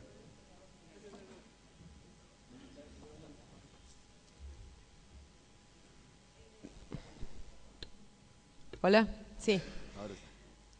Es difícil negar, tampoco se analicen algunos pocos números, eh, que nuestro país ha vivido en esta última década un extraordinario proceso de reindustrialización que es conveniente explicar. Efectivamente, el promedio anual de crecimiento en la producción industrial en la década de los 90 no llegaba al 1% y en estos años ha alcanzado un promedio del 7,5%. Han aportado la recuperación de ese volumen de producción y por tanto también a la recuperación de su participación de la producción manufacturada de origen industrial en las exportaciones, varios instrumentos de política pública que creo que no se pueden esquivar y que además tienen su efecto y su aplicación concreta en el desarrollo industrial, en el perfil industrial característico de Córdoba. De hecho, esta, esta tasa de crecimiento ha sido superada en el caso de la industria automotriz y autopartista, que tiene una representación significativa en la producción industrial cordobesa, lo mismo en la producción metalmecánica y de maquinaria agrícola, que también es tan importante en esta región, y por supuesto de la industria alimentaria. Créditos, para, eh, créditos blandos con tasas accesibles, eh, créditos de financiamiento como el, extraordinario programa del Bicentenario y tantas otras medidas de promoción, de construcción de nuevos mercados internacionales, eh, han permitido la reactivación de un aparato industrial que fue devastado en la década de los 90. Nuestro país tiene que continuar avanzando en esa dirección y tiene que avanzar en la combinación, como antes dije, de estos esfuerzos con la industrialización y agregado de valor a la producción primaria, también tan rica e importante en, nuestra provincia. Los efectos en empleabilidad que significa la recuperación del aparato productivo eh, se ven también en estas tres áreas al 17% de crecimiento promedio anual que ha tenido en esta década la industria automotriz y autopartista se refleja en los 18.000 puestos de trabajo que es capaz de crear. Allí también ha estado presente el Estado Nacional. Ha terminado su turno. Muchísimas gracias, candidata Olga, eh, candidata Carolina Escoto. Es el turno ahora de la candidata Olga Riutorto. Si bien es cierto que si uno compara la situación del país con la crisis del 2001, obviamente que estamos mejor. Pero hay un dato que es conveniente analizar y es que el, de los dos millones y medio de puestos de trabajo que se generaron en esta década, solamente un millón trescientos mil dependen del sector productivo. Es decir, está indicando que Argentina tiene dificultades para producir puestos productivos. O sea que el desafío es ver cómo incentivo, cómo agrego valor, cómo agrego tecnología para que realmente el crecimiento pueda llegar a ser genuino, porque el Estado no puede ser la variable o seguir siendo la variable de ajuste de la desocupación que tenemos en nuestro país. Y creemos que este desarrollo no armónico que tiene el país, que es la macrocefalia histórica de, Ciudad de Buenos Aires y de Gran Buenos Aires, puede resolverse y no sería descabellado pensar con una política fiscal que planteara beneficios tributarios a partir de radios cuyo eje esté en el centro, en la ciudad capital, para que a medida que nos vamos alejando y vamos a poder tener beneficios tributarios, podamos erradicar o radicar inversiones cada vez en las zonas más lejanas. ¿Para qué? Porque si seguimos fomentando las migraciones que se hacen en estos grandes centros que tiene el país, como es Buenos Aires y el Gran Buenos Aires, estamos provocando dificultades en servicios, en infraestructura que no estamos en condiciones de soportar y sacrificios fiscales a toda la población para sostener estos bolsones que lejos de producir equidad social, se enquista pobreza, desocupación, droga, inseguridad. Creo que el desafío es tener una política de incentivo fiscal para que las inversiones se puedan realizar con mayor equilibrio a lo largo y a lo ancho del país. Ha terminado su turno. Es el turno del candidato Juan Schiaretti. Sin duda que si no hubiera una política de agresión al campo, nosotros ya podríamos industrializarnos mucho más en la zona de Pampa Gringa y también en la zona del norte de la provincia, que es donde se ha expandido la frontera agropecuaria. Y sin duda, si el gobierno nacional nos hubiera autorizado a los cordobeses a poder tomar deuda que nos ofreció a tasa muy razonable el gobierno de Brasil y hacer los gasoductos troncales que nos habían autorizado al principio, después nos negaron, ya tendríamos gas natural que es vital para que se industrialicen las materias primas agropecuarias en las vastas regiones de la provincia que faltan. Y yo estoy convencido de que en la región productiva, teniendo el gas natural, teniendo la energía que precisamos y teniendo la ruta que no podemos hacer porque nos lleva los recursos y nos niega los recursos que son nuestros nación, sentaríamos las bases para que el productor agropecuario, que son hoy los bisnietos, tataranietos de los inmigrantes, que fueron a estudiar y volvieron al campo y son el sujeto dinámico por excelencia de la economía agroalimentaria de Córdoba, le agreguen valor a la producción porque tienen interés y además se van sumando otros tipos de industria. Marco Juárez es un polo metal mecánico, pero arrancó siempre industrializando la materia prima agropecuaria. No es casualidad que las dos empresas multinacionales más grandes de alimentos que tiene Argentina estén en el interior de nuestra Córdoba. Me parece que esto es clave y desde el Estado también hay que apuntalar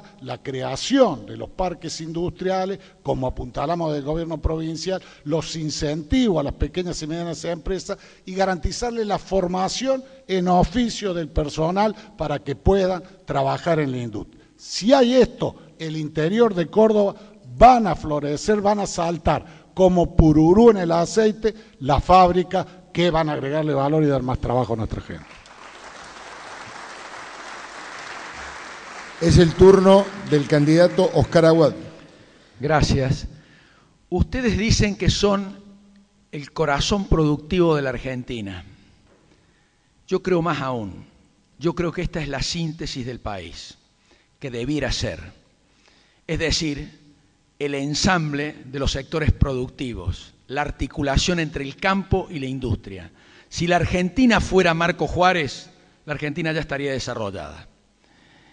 Vean, el problema más grave que tiene el país y que tenemos que resolver, por eso necesitamos que todas las ciudades del país sean Marco Juárez, es que nuestro aparato productivo no produce 250 mil puestos de trabajo por año en blanco. Ese es el problema. Esos son los jóvenes que todos los años se incorporan al mercado laboral. Casi 100 mil de esos chicos quedan en el camino, o porque no consiguen trabajo, o porque trabajan en negro, o porque solamente hacen changas o trabajos temporarios. La articulación de los sectores productivos, la inversión productiva y la industrialización del país es lo único que puede generar en la Argentina los 250 mil puestos de trabajo que los jóvenes necesitan para poder trabajar y progresar. Si además de eso las provincias tienen, articulando con la nación, políticas de construcción de viviendas, los jóvenes no se van del lugar donde nacieron. Ahí se arraigan. Y los que quieren emigrar lo hacen, pero para mejorar su situación, no para ir a parar a los bolsones de pobreza de las grandes ciudades y convertir los conos urbanos en sectores enormes donde la discriminación, la pobreza y la exclusión social son la moneda corriente. Ha terminado su turno. Gracias, candidato Aguad. Es el turno del candidato Héctor Baldassi. Bueno, para hablar de desarrollo industrial del interior, tendríamos que hacer un raconto de todo lo que estuvimos hablando recién, de la falta de, rutas, de la falta de gas, de la falta de previsibilidad, de la falta de reglas claras. Hay mucha gente que podría y quiere invertir en mejorar su calidad de producto, sus servicios, pero no tienen los medios, no tienen los mecanismos para poder hacerlos.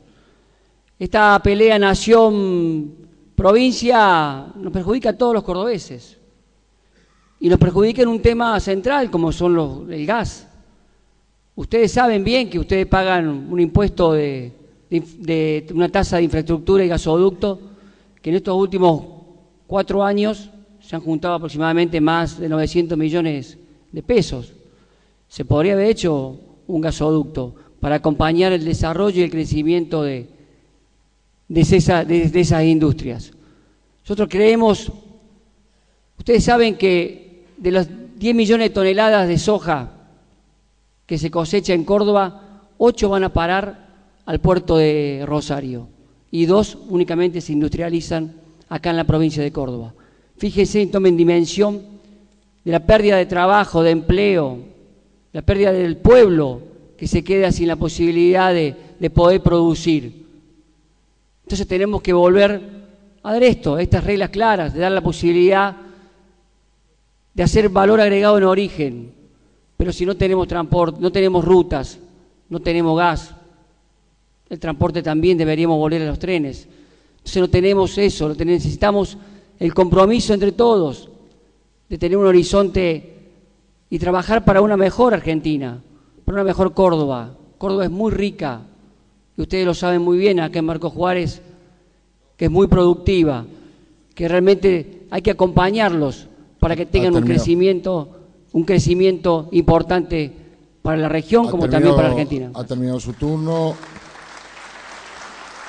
Y ha culminado así eh, la primera parte prevista de la agenda temática. Ahora es el turno de las preguntas. Obviamente hay que agradecer el nivel de participación, la cantidad de preguntas que han hecho, los distintos, y además con el respeto que lo han hecho, este, obviamente cada uno con su corazoncito, pero con mucho respeto hacia los candidatos. Así que les agradecemos. Hemos elegido una pregunta para cada uno por el tiempo. Fíjense en la hora que es, todavía faltan que ellos tengan sus tres minutos libres para hablar del tema que quieran. Eh, Vamos a arrancar con Olga Ributort y una de las preguntas que le ha hecho eh, gente del público dice, ¿considera justo que el interior del país pague más por el transporte público y la energía que Buenos Aires? ¿Qué piensa hacer si llega a la Cámara de Diputados al respecto?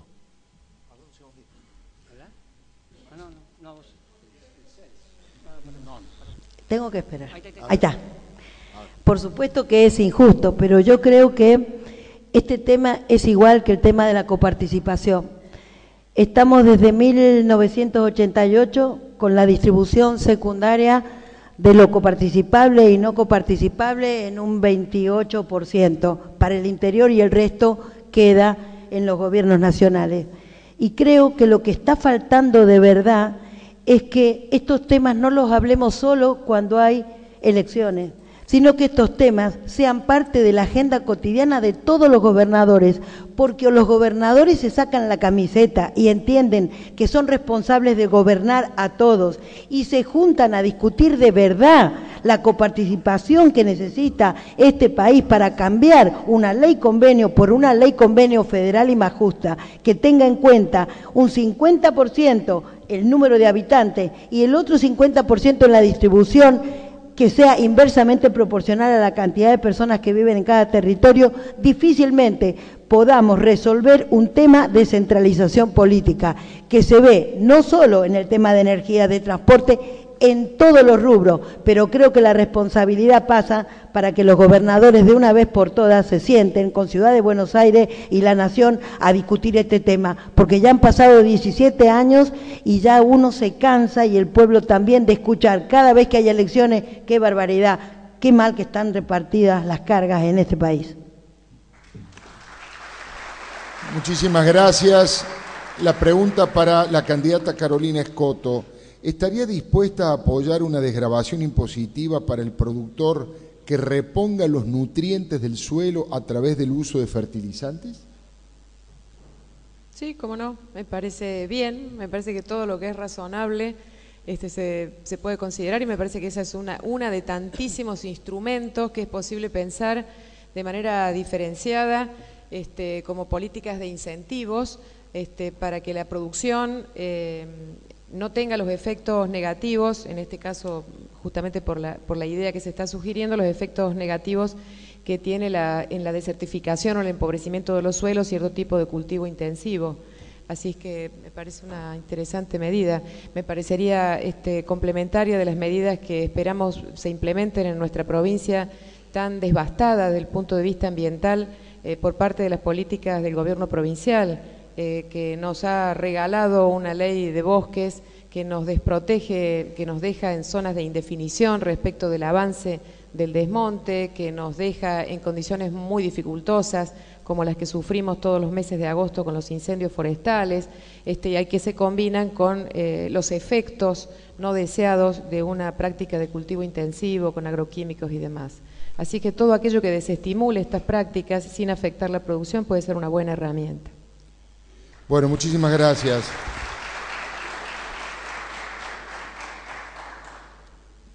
La pregunta es para el candidato Héctor Baldassi. ¿Presentaría usted como legislador un proyecto para sacar el IVA a los alimentos que integran la canasta básica, ya que afectan los ingresos de los más necesitados? No tenga ninguna duda. Nosotros pensamos trabajar en todos estos aspectos como vamos a empezar a trabajar en bajar las retenciones, también me parece viable y factible que empecemos a trabajar en las personas que más le afecta sacar el IVA de la canasta básica. Sobre todo es lo que nosotros consideramos, empezamos a, trabajar en, todo lo que significa el, procesamiento del más pobre, ayudarlo, ayudarlo al más necesitado, ayudarlo con esto, en que trataremos de bajar los precios a través de la erradicación, de la eliminación del IVA para los productos básicos de la canasta. Gracias. Eh, esta pregunta es para el candidato Oscar Aguad. La mayoría de los candidatos propuso modificar la reforma, hacer una reforma tributaria bajando o sacando impuestos. ¿Con qué piensan suplantar esa falta de ingresos? Con mayor producción. A ver, si nosotros decimos que el costo de bajar retenciones es 1.700 millones de dólares, la propuesta es que el sector productivo agropecuario tiene que aumentar la producción. Por eso no terminé mi, alocución por el tiempo, pero, eh, por ejemplo, producir 1.130 eh, millones de toneladas de granos eh, y pagar ganancias por eso va a aumentar el impuesto a las ganancias del sector agropecuario, lo mismo que favorecer los saldos exportables de la leche, de la carne, cumplir con la, cuota Hilton. acá el problema radica en esto. Los impuestos tienen que financiar al sector público para que el sector público pueda desarrollar todos sus fines, es decir, prestar el servicio de salud, de educación, de seguridad, de justicia, de defensa, etc. Lo que no puede haber es que el sector público ahogue al sector privado, porque el sector privado cumple otra función que es indelegable e insustituible. Tiene que crear los 250 mil puestos de trabajo que necesita el país. El sistema tiene que ser absolutamente equilibrado. Y lo vuelvo a repetir, quien odia la renta privada no puede presidir la Argentina. Muchas gracias. Em, para el candidato Juan Schiaretti, eh, ¿no sería necesario formar una suerte de liga federal para eh, terminar con el centralismo porteño? Yo creo que lo primero que uno de los puntos que hay que conseguir es cambiar la ley de reparto de impuestos. Porque si las provincias seguimos hablando de cambiar la ley de coparticipación federal, no se van a poner de acuerdo nunca los gobernadores, porque tienen que tener el acuerdo de todos y nadie quiere resignar nada. Lo que hay que hacer es el reparto de impuestos menos a la nación y más a las provincias y municipios. Esta es la ley que nosotros tenemos que sancionar en el Congreso de la Nación. Porque es un absurdo que teniendo los municipios la obligación indelegable de atender las cloacas, los desagües, el alumbrado, el barrido, la limpieza, el cordón cunete, el asfalto, que es indelegable, y las provincias, la salud pública, la educación, la justicia y la seguridad reciban 25 centavos de cada peso que recauda la nación, que solo tiene la responsabilidad de la Fuerza Armada, de la Cancillería y de la Fuerza de Seguridad y la Justicia Federal como responsabilidad indelegable y se queda con 75 centavos. Entonces hay que volver a la ecuación gradualmente que había hace 30 años, que era 50 y 50. Si queremos poner de acuerdo en la ley de coparticipación, van a pasar otros 17 años más sin poner de acuerdo. En esto nos podemos poner rápidamente de acuerdo y sancionar la ley, que es una de las iniciativas que vamos a llevar al Congreso de la Nación. Así que me parece que esto es clave y además sí tiene que haber un acuerdo político para que basta de que todo lo que subsidia va a Capital Federal y al cono urbano bonaerense. Porque los cinco puntos del producto de subsidio de electricidad van allá, no vienen a Córdoba. Los cordobeses pagamos, igual que los santafesinos, el agua y la luz de acuerdo a lo que cuesta. Los porteños y el, cono urbano bonaerense lo pagan con los subsidios que pagamos los cordobeses y el resto del país. Bueno, eh, Habíamos decidido hacer una sola pregunta por el tema del tiempo, porque se está prolongando, se está, la noche va creciendo, pero bueno, me dicen que hay reclamos de la gente que quieren que haga otra pregunta más de todas las que han formulado, una cada uno, en consecuencia le pedimos a los candidatos eh, que sean más cortitos, que tengan, este, que se tomen un minutito para responder estas nuevas preguntas, tengan en cuenta que van a tener tres minutos cada uno también después para hacer este, el discurso y los planteos y los proyectos que quieran. Ahora un minuto, ahora un minuto, en esta vuelta apelo a la síntesis entonces. Candidata Olga Riutor, eh, ¿qué proyectos de reinserción laboral podría presentar para eh, ir reemplazando los, eh, planes, los planes asistenciales? Lo que pasa es que de los planes asistenciales el único que va quedando realmente es la asignación universal por hijo, que es bienvenida porque aumentó la currícula en la primaria y si bien es cierto que hay deserción en la secundaria, este, esto vino bien. Yo lo que creo que el desafío pasa por lograr incentivos a la industria, es decir, qué crédito blando yo doy, cómo disminuyo la presión impositiva para generar trabajo y salario. No veo que haya posibilidades de inventarse planes para reinserción laboral que no estén ligados a recuperar de una vez por todas el aparato productivo, que es lo que genera riqueza y distribuye esta a través del salario. Muchísimas gracias, eh, muchas gracias por respetar el tiempo. La candidata Carolina Escoto, ¿cuál es la valoración que usted hace respecto de la cultura del trabajo hacia el futuro?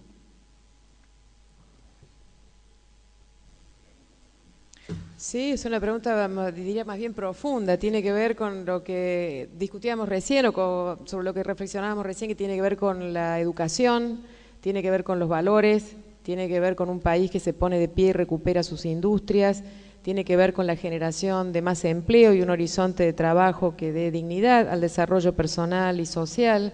Este, tiene que ver con políticas públicas que fortalezcan el desarrollo regional y eviten la concentración en las grandes ciudades en condiciones indignas de vida. Eh, tiene que ver eh, con, con, todo esto, con el proyecto de construcción o de reconstrucción de un país que todavía es un proyecto en marcha, todavía es un proyecto en ciernes, es un proyecto sobre el que hay que trabajar mucho más. Eh, indudablemente la cultura del trabajo tiene que ser promovida frente a, la desazón, al desamparo, a la desprotección, a la ausencia de herramientas este, no recibidas en el entorno familiar y no transmitidas este, por condiciones de vida que generen la, igualdad de oportunidades para la búsqueda de un horizonte de desarrollo para las personas. Así es que es una tarea conjunta eh, que debe ser desarrollada por todos los gobiernos este, y que debe ser acompañada, por supuesto, y sustancialmente por la educación. Muchas gracias. Eh, el candidato Héctor Baldassi le han hecho la siguiente pregunta. ¿Presentaría usted, en caso de llegar al Congreso Nacional, un proyecto que eh, produzca el desafuero parlamentario para aquellos legisladores o dirigentes políticos que cometan hechos de corrupción? sin duda que, lo haría, no tengo, yo creo que es una parte fundamental hacerse cargo del desafuero, es decir, buscarlo como refugio o como protector al desafuero. Yo no tengo ningún problema, lo firmo ya y buscaría la ley, lo juntaríamos, no tengo ningún tipo de inconveniente, soy una persona que no vengo del ámbito de la política y creo que todos tenemos que tener esta transparencia para poder realizar y no tener ningún privilegio para, el fuero. Entonces, no tengo ningún inconveniente. Lo plantearía, lo trabajaría y, bueno, si me acompañaría, lo, lo haríamos. Muy bien. Eh, candidato Aguad, ¿qué acción podría llevar adelante desde el Congreso Nacional para que el Gobierno Nacional le pague a Córdoba las deudas que tiene del tema de la caja de jubilados? no hay manera. La única manera es la de la Corte Suprema, no hay forma. Quizás si seamos mayoría se puede aprobar la partida en el Congreso, pero tampoco la van a pagar. Así que yo creo que eh, hay que resignarse a esperar el fallo de la Corte porque este gobierno no le va a dar a Córdoba la plata que es de Córdoba.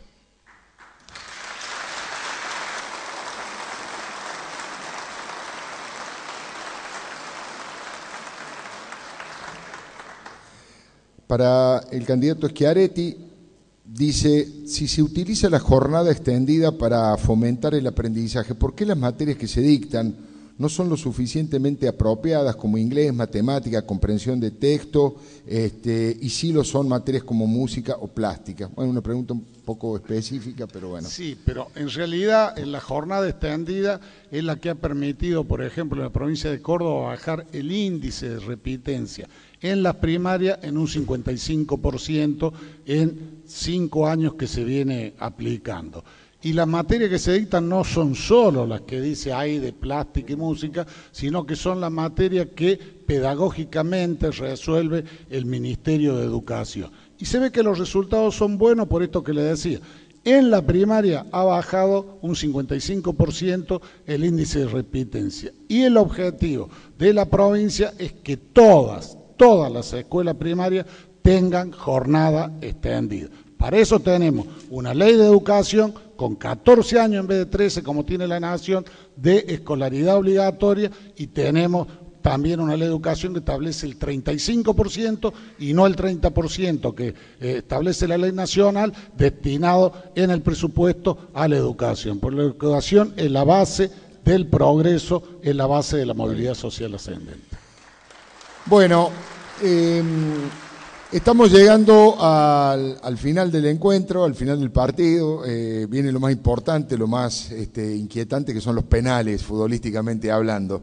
Cada uno tiene un penal de tres minutos, puede hablar absolutamente de lo que quiera, con total libertad temática, eh, de los temas, profundizar algunos de los que se han hablado aquí, hacer alguna aclaración eh, o directamente hablar de cualquier otro tema que prefiera. Eh, es su turno, candidata Olga Riutort.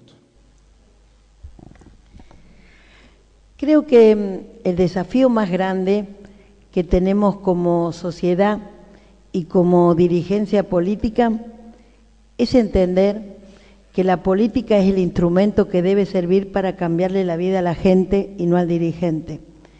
Y cuando digo esto, digo, ¿cómo hacer para que seamos capaces como sociedad de entender que lo único que va a modificar el Estado es la política, porque las organizaciones sociales pueden ayudar a resolver problemas de solidaridad, problemas puntuales, pero lo único que puede garantizar cambiar la calidad de vida de un país es la política que se generan del Estado. Y hasta que no inventemos otra cosa, son los partidos políticos los que generan los futuros gobernantes. Y cada vez los partidos políticos brillan por su ausencia. Están ausentes de debate, están ausentes de participación y la gente de espalda diciendo todos son iguales, todos los políticos son corruptos y después decimos, bueno, elijamos al menos malo. Yo creo que si de verdad queremos apuntar a un país con desarrollo, que alcance la prosperidad, esa prosperidad que significa que cada uno tenga en lo material y en lo espiritual lo que necesita para vivir con dignidad, es necesario que todos hagamos el esfuerzo de cortar con la apatía y que participemos en la fuerza política que querramos, porque solamente con el debate de ideas y con la madurez necesaria como sociedad vamos a tener un Estado que sea reflejo de esa sociedad que nosotros formamos. El otro día Sanguinetti en la ciudad de Córdoba dio una conferencia y alguien del público le preguntó, doctor, ¿cómo se hace para tener gobiernos que no sean corruptos? Y él le contestó, cuando seamos capaces de construir una sociedad que no exista la corrupción. Y creo que el desafío es que todos participemos, que los delitos de corrupción no prescriban, y que realmente podamos empezar a sanear las estructuras políticas partidarias para tener cada vez más y mejores dirigentes. Ese es mi métier. Por eso no bajo los brazos, por eso no me dedico a disfrutar a mis nietos. Creo que como generación tenemos la obligación de dar este debate, predicar con el ejemplo para que los jóvenes se vuelvan a entusiasmar de que es posible construir un país que dé respuesta a las necesidades que tiene la gente. Por eso estoy en política y por eso les quiero decir que pueden contar conmigo, como dice mi eslogan de campaña. Gracias.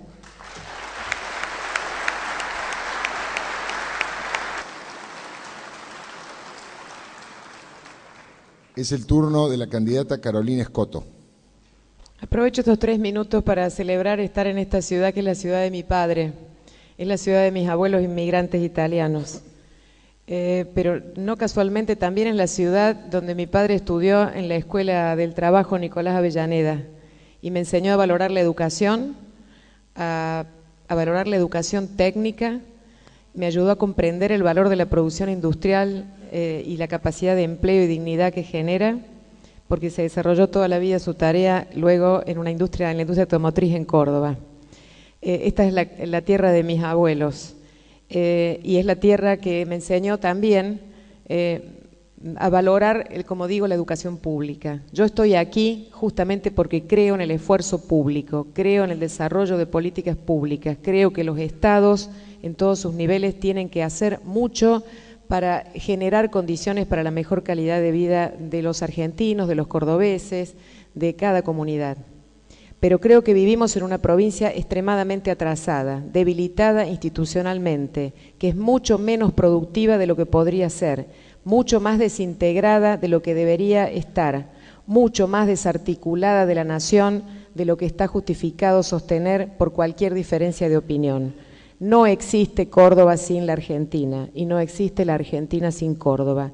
Yo me propongo mostrar, hacer el esfuerzo este, colectivo de eh, invitar a los cordobeses que aún no lo ven a que descubran que estamos viviendo en un país que se está transformando, pero que necesita incontables buenas y mejores transformaciones. Es, es el esfuerzo de integración que esta provincia, a veces demasiado ensimismada, necesita hacer. Tiene un capital humano, un capital productivo, un capital educativo, un capital científico, un capital histórico suficientemente poderoso como para vivir en este atraso que además eh, se combina, como dije, debilidad institucional, debilidad democrática, impunidad y corrupción.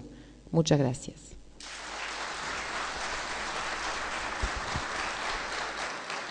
Es el turno del candidato Héctor Baldassi. Bueno, yo le voy a comentar por qué me involucré en política. Soy una persona que, que vengo del deporte, en el cual no he sido deportista, sino que en el deporte yo tomaba decisiones y lo hacía con sentido de justicia, lo hacía sin solayar las reglas, con profesionalismo, trabajo en equipo, con dedicación y honestidad. Eso me dio la posibilidad de representar muchas veces a mi país y estar en los escenarios deportivos más importantes del mundo. Yo quiero decir que hace 10 años decíamos que se vayan todos. Y hoy le digo que entren todos a participar, que todos tienen que empezar a involucrarse, que todos tienen que empezar a participar, desde el colegio, desde una iglesia, desde el consorcio, de una asociación. Todos tenemos que empezar a hacer esa política, empezar a construir a través de un diálogo, pero serio y constructivo, no de puentes imaginarios, sino un diálogo que realmente todos nos comprometamos a resolver los problemas de la gente. Creo que la política tiene que estar al servicio de la gente, no que los políticos se adueñen de la gente. Yo he conformado y estoy muy orgulloso de haber conformado un equipo de trabajo muy importante, que seguramente es mucho más capaz que yo. Yo estoy orgulloso de tener a, Néstor Rolet en mi equipo, una persona que ustedes lo conocen muy bien y, y saben de la profundidad del sector agropecuario como la conoce él. También tengo otro referente acá de Marco Juárez, que es Pedro La Rosa, que ha sido el hijo de un gran, un gran intendente. Entonces, yo me comprometo a esto. Por eso yo digo que respeto a todo el mundo, respeto a los que vienen gobernando de hace muchos años, pero es hora de caras nuevas, de ideas nuevas y objetivamente o principalmente objetivos distintos. Nosotros queremos desarrollar una Argentina con un futuro para nuestros hijos, para nuestros nietos, para sus hijos y para sus nietos. En eso tenemos que trabajar. Argentina es muy rica, tiene economías regionales increíbles, pero hay que darle previsibilidad, hay que darle reglas claras. Por eso le digo a todos que metamos un cambio, nos comprometamos y estemos seguros que vamos a defender los intereses de la provincia de Córdoba. Muchas gracias.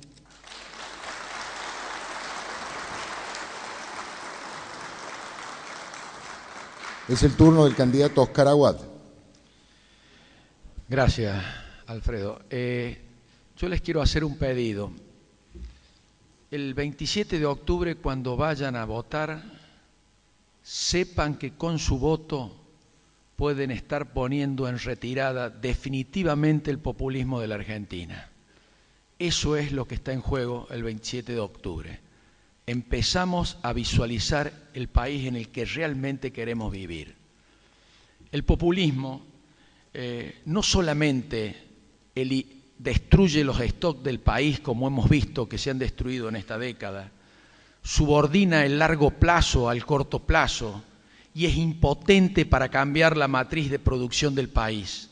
Además de eso, el populismo hipoteca el futuro de los jóvenes, destruye la cultura del trabajo y la cultura del esfuerzo, crea pereza moral y lo más grave, convierte al hombre en un esclavo, en un cliente.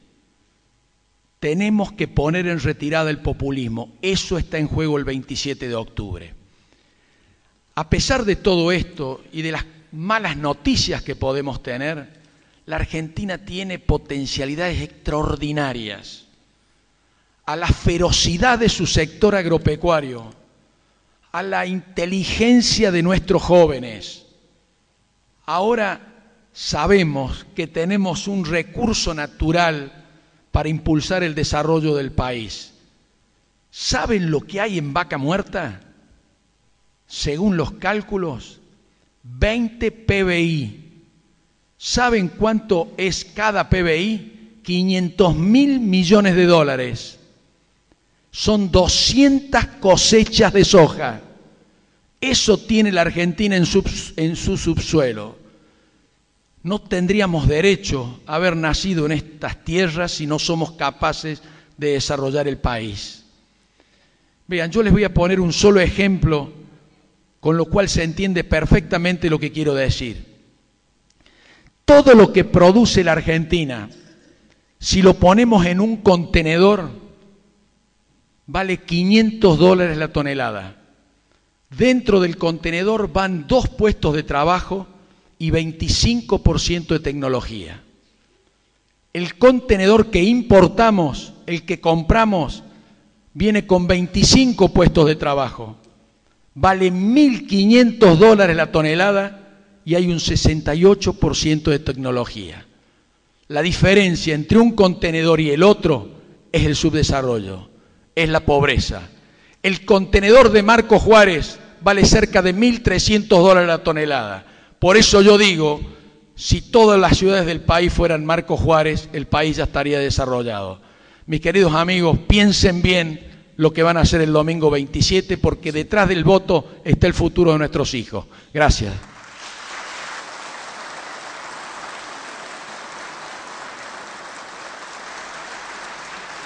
Es el turno del candidato Juan Schiaretti.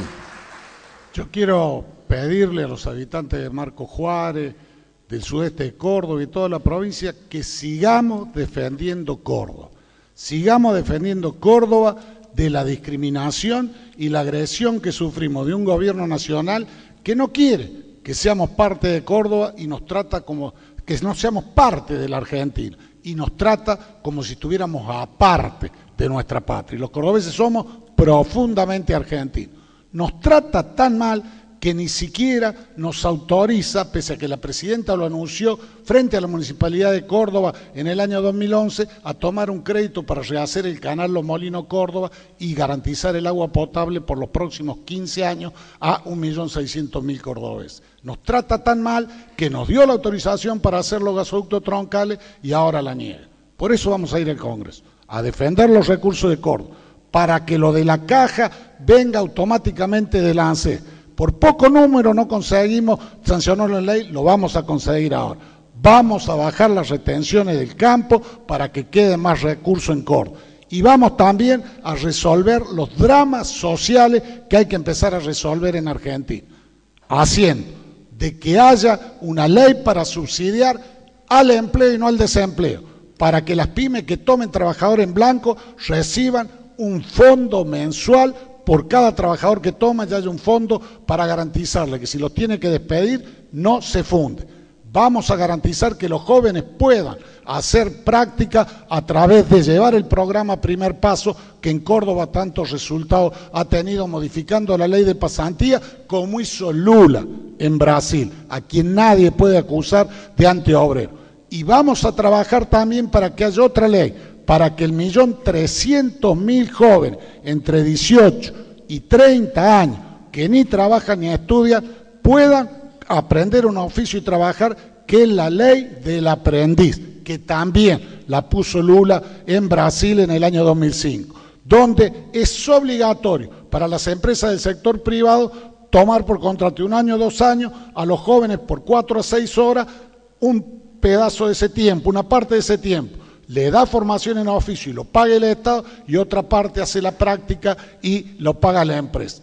Habiendo más de 6 millones de trabajadores formales en el sector privado, son 600 mil jóvenes, y le ponemos como obligación el 10% que sacamos de la calle, le enseñamos un oficio y le damos la posibilidad de trabajar. Vamos también a pedir la extensión de la licencia por maternidad para seis meses pago porque es una necesidad de la mujer estar con sus hijos y también a plantear que se empiecen a pagar el 82% móvil a los jubilados nacionales, tal cual dijo la Suprema Corte. Y los recursos están. ¿Sabe qué? De los subsidios de la energía, en la primera mitad de este año se gastaron 40 mil millones de dólares. El 40% fue para el sector más alto. Y eso es más de lo que paga el, Estado Nacional en asignación universal por hijo durante todo un año. O sea que los recursos están para poder hacer esto. Muchísimas gracias, muy buenas noches y defiendan Córdoba.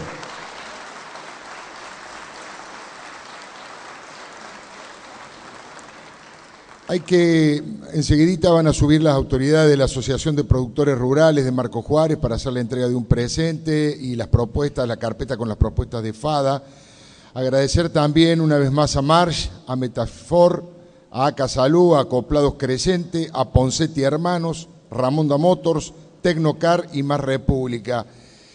En mi caso, una pequeña reflexión, un pequeño balance de 30 segundos.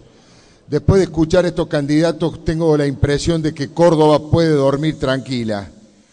Córdoba puede dormir tranquila porque he notado, me he fijado con precisión, que la gran mayoría de los asistentes esta noche aplaudían prácticamente a todos los candidatos. Seguramente no han votado a todos porque no se puede, cada uno tiene su corazoncito partidario y su camiseta, y sin embargo, ante las propuestas, aunque sean de otros candidatos que les parecieron bien, las aplaudieron con respeto y me parece un gesto democrático y cívico realmente muy bueno. Córdoba puede dormir tranquila porque aquí los candidatos, con todas las diferencias que tienen y en algunos casos muy profundas, se han manejado todo el tiempo con un respeto tremendo y el respeto no es una palabra formal, el respeto es uno de los principales valores democráticos porque tiene que ver con enriquecerse con el pensamiento del otro. Y además me parece que Córdoba puede dormir tranquila porque eh, hay un concepto, una definición de democracia que acuñó allá por el 1700 un jurista italiano, pero que la recuperó Domingo Faustino Sarmiento cuando fue presidente de la Argentina y Ricardo Lagos cuando fue presidente de Chile. Él dice que democracia es lograr la mayor cantidad de felicidad para la mayor cantidad de gente. Ojalá esta noche aquí hayamos contribuido para que eso sea una realidad en la República Argentina. Muchísimas, muchísimas gracias a todos.